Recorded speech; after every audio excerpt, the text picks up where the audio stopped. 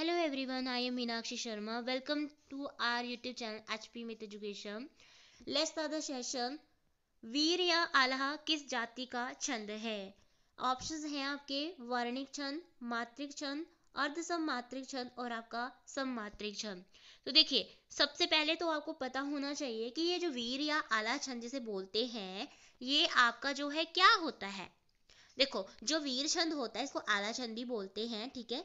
तो इसमें क्या होता है कि दो दो पदों के, ठीक है? इसमें जो है दो दो दो पदों के कितनी होते हैं? चार चरण होते हैं।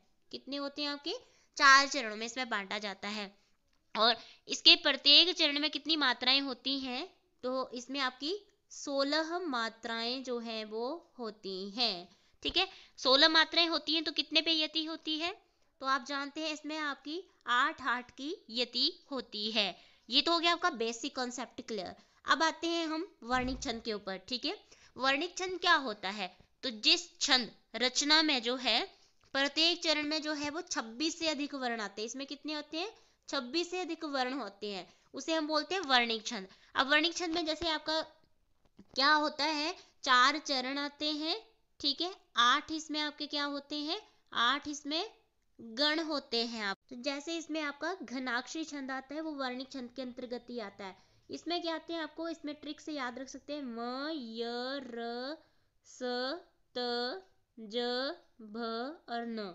अब कैसे? म से मगण य से यगण र से रगण स से सगण त से तगण ज से जगण भ से भगण न से नगण ठीक है, इस तरह से आठ गण आते हैं आपके ये। ओके जी? अब देखो, दूसरा इसमें ऑप्शन है मात्रिक छंद। मात्रिक छंद में क्या होता है? मात्रिक जिसमें कि मात्राओं की संख्या के आधार पर छंद का निर्माण होता है, वो आपका मात्रिक छंद में आता है। तो चौपाई जो वो आपकी कौन से इसमें आती है? मात्रिक छंद के अंतर्गत ही आती है। फिर इसमें आपका अर्ध सम्मात्रिक छंद। अर्ध सम्मात्रिक छंद में क्या होता है कि इसमें दो पंक्तियाँ होती हैं और चरण कितने होते हैं? चरण इसमें आपके चार होते हैं। अब इसमें क्या होता है कि जो आपका पहला और तीसरा चरण होता है, ठीक है? उसमें तेरह आपकी जो है, वर्ण होते हैं, ठीक है? तेरह पर यति होती है और दूसरे में और चौथा जो आपका जो है, होता है उसमें ग्यारह की। तो इसमें आपकी तेरह ग्यारह की यति होती है। जैसे इसमें आपका कौन सा आ जाता है? अर्ध सममात्रिक में आपका सोठा छंद आता है। फिर इसमें आपका सममात्रिक। सममात्रिक में क्या होता है? सम मात्राएँ होंगी, यानी कि चौबीस मात्राएँ होती हैं। और इसमें यति कौन, कितने की होती है? तो ग्यारह और तेरह की यति। अब ये ग्यारह तेरह, यानी कि पहला तीसरे में आपकी ग्यारह, और जो दूसरा चौथा, उसमें चरण में तेरह की यति। सो यहाँ पर जो है ऑप्शन डी आपका बिल्कुल करेक्ट है। नेक्स्ट क्वेश्चन है, पापी मनुज भी आज मुख से राम नाम निकलते, इस काव्य पंक्ति में अलंकार है। विभावना, उदाहरण विरोधावास और दृष्टांत। तो देखिए अब सबसे पहले हम इन ऑप्शन को ही एक्सप्लेन कर लेते हैं। विभावना। विभावना में क्या होता है? जहाँ पर कारण का जो है, ना होते हुए भी कार्य का होना पाया जाता है। क्या होता है कि जहाँ पर कारण के ना होते हुए भी कार्य का होना पाया जाए जैसे, बिनु पग चले, सुने बिनु काना। ठीक है? वो इसमें आती है आपकी। फिर आपका है उदाहरण। उदाहरण में क्या होता है? उदाहरण जहाँ पर किसी भी बात के समर्थन में उदाहरण किसी वाचक शब्द के साथ दिया जाए। वहाँ पर आपका उदाहरण अलंकार आता है। फिर आपका विरोधावास विरोधावास में क्या होता है कि जहाँ वास्तविक विरोध ना होकर भी केवल विरोध का हमें क्या होता है? आभास होता है। विरोधावास विरोध धन आभास। यानी कि वास्तविक विरोध ना भी हो, लेकिन हमें विरोध का आभास होता है जहाँ पर। फिर इसमें है आपका नेक्स्ट दृष्टांत। दृष्टांत में क्या होता है कि जिस स्थान पर जो है दो सामान्य या दोनों विशेष वाक्यों में बिंब प्रतिबिंब भाव होता है। उसे, उस स्थान पर हम क्या बोलते हैं? दृष्टांत अलंकार होता है। तो अब यहाँ पर जो है ये क्वेश्चन नंबर सेकंड जो है इसका राइट आंसर है ऑप्शन सी विरोधाभास की। पापी मनुज भी आज मुख से राम नाम निकलते तो यहाँ पर जो है किसी जहाँ वास्तविक विरोध ना होकर भी केवल जो है वो विरोध का आभास हो रहा है। नेक्स्ट क्वेश्चन है यहाँ पर। किसी कंपनी में नौकरी पाने हेतु लिखा जाने वाला जो पत्र होता है, वो किस श्रेणी में आएगा? देखिए ऑप्शन है अनौपचारिक पत्र, निमंत्रण पत्र, व्यवसायिक पत्र और आपका आवेदन पत्र। तो अनौपचारिक पत्र क्या होते हैं?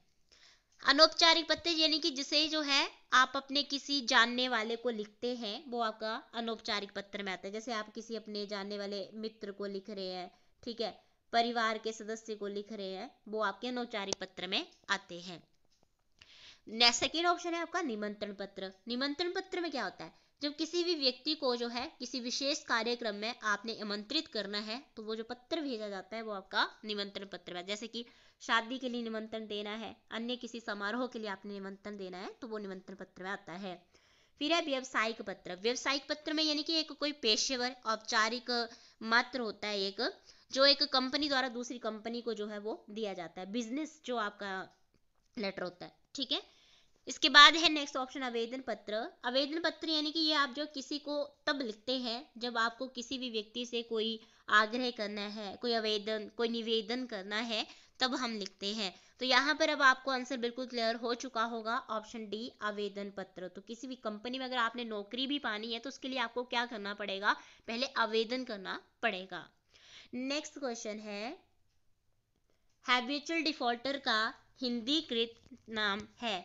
ऑप्शन है आपके, निष्ठा, संदिग्ध है। सेकंड है, विलंब से आने वाला सी है आदतन चूक करता डी है कार्य को टालने वाला। तो यहाँ पर जो है इस क्वेश्चन का राइट आंसर ऑप्शन सी ही है, आदतन चूक करता हैबिचुअल डिफॉल्टर का आपका अर्थ होता है आदतन चूक करता नेक्स्ट क्वेश्चन है, नायिका भेद पर आधारित ग्रंथ रस मंजरी के रचनाकार हैं। तो रस मंजरी के रचनाकार कौन है? ग्रंथ के सूरदास, बिहारी, नंदास, विद्यापति। तो यहाँ पर जो है इस क्वेश्चन का क्या आएगा राइट आंसर देखिए, ध्यान से लगाइए आंसर अब देखो, इसमें जो है आपका, हम बता देते हैं राइट आंसर है ऑप्शन सी ठीक है? नंद दास. अब नंद दास की अन्य रचनाओं के बारे में हम यहाँ पर बताएँ तो आपका जो है सुदामा रचित सुदामा रचित हो गई आपकी, भवर गीत हो गया ववर गीत हो गया रूप मंजरी हुई आपकी। फिर आपका रुकमणि मंगल हो गया। ठीक है? रुकमणि, मंगल आदि। ये जो है वो आपके नंदास जी की अन्य रचनाएँ हैं। सो ऑप्शन सी करेक्ट है। नेक्स्ट क्वेश्चन है, वह कौन सा शब्द है जो प्रायः बहुवचन में प्रयुक्त होता है? ऑप्शन है, देव। नेक्स्ट ऑप्शन है, छात्र, नक्षत्र, डी, प्राण। तो इस क्वेश्चन का क्या आएगा राइट आंसर देखो, आपका जो देव है, वो भी आपका एक वचन में है, छात्र एक वचन में, नक्षत्र भी एक वचन में आता है, लेकिन जो प्राण है, वो आपका बहुवचन में ही आता है सो ऑप्शन डी बिल्कुल करेक्ट है। नेक्स्ट क्वेश्चन है, राम आम खाता है, में वाच्य का कौन सा रूप है? भाववाच्य, कर्मवाच्य, कर्तृवाच्य, उभयवाच्य। देखिए, आपके तीन ही होते हैं, कर्मवाच्य, भाववाच्य और कर्तृवाच्य।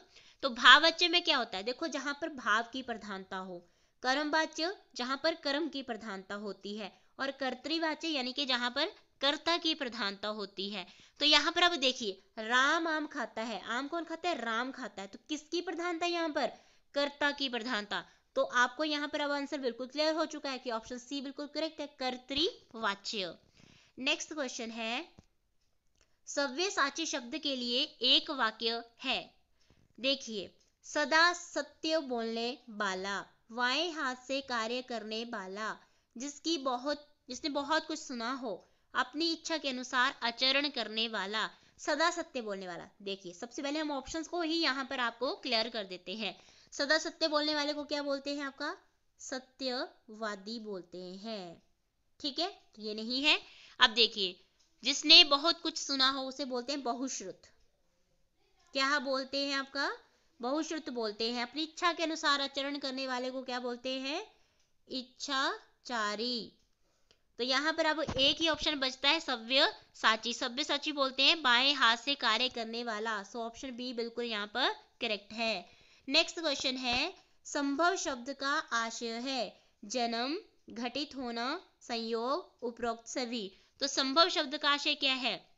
देखिए, इसका जन्म भी होता है, घटित होना भी होता है, संयोग भी होता है। तो ऑप्शन है यहाँ पर बिल्कुल आपका करेक्ट है, उपरोक्त सभी डी ये अब हमारा हिंदी सेक्शन से आज का लास्ट क्वेश्चन है इंपॉर्टेंट है। उद्धत शब्द का विलोम है, विनय, अवनति, अनुदार, विनीत। तो देखिए, उद्धत शब्द का विलोम क्या होगा? विनय। विनय का आपका विलोम शब्द क्या होता है? अहंकार। अहंकार। अवनति का क्या होता है? उन्नति। वही अनुदार का क्या होता है? उदार होता है। विनीत का क्या होता है? उद्धत होता है। तो यहाँ पर अब आपका आंसर आपको मिल गया होगा। सो इस क्वेश्चन का जो है वो आपका राइट आंसर है। ऑप्शन डी उद्धत शब्द का विलोम होता है विनीत। तो ये थे डियर एस्पिरेंट्स हमारे हिंदी सीरीज़ से most important MCQs in detail I hope आपको हमारा आज का वीडियो बहुत पसंद आया होगा और आपके लिए जो है, आपके अपकमिंग एग्ज़ाम के लिए जो है, वो काफ़ी हेल्पफुल भी रहने वाला है। इसी तरह के और भी वीडियोस के लिए आप हमारे चैनल को ज़रूर सब्सक्राइब कर दीजिएगा और अपने फ्रेंड्स के साथ जो है, इस वीडियो को ज़रूर शेयर कीजिएगा और अपनी वैल्यूबल फीडबैक जो है कमेंट सेक्शन में ज़रूर दीजिएगा। आज के इस वीडियो में इतना ही। मिलते हैं हम आपसे नेक्स्ट वीडियो में इसके नेक्स्ट पार्ट के साथ। तब तक के लिए thank you have a good day bye